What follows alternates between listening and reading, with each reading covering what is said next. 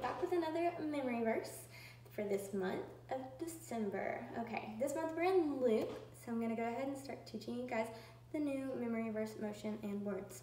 All right, so first part is today, today, in the town of David.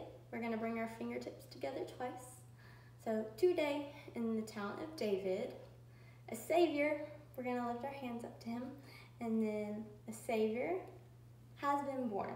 We're gonna cradle our arms together. And then a savior has been born to you.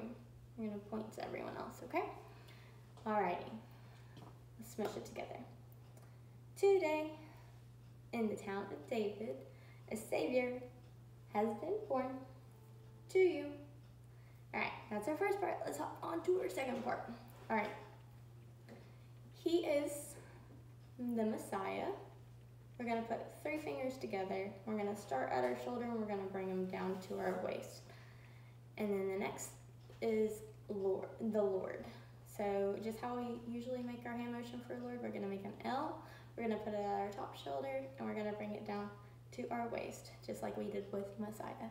All right, and that's in Luke 2.11. So can we try it together? Let's try it together. Alrighty, so today in the town of David, a Savior has been born to you. He is the Messiah, the Lord. Luke 2.11.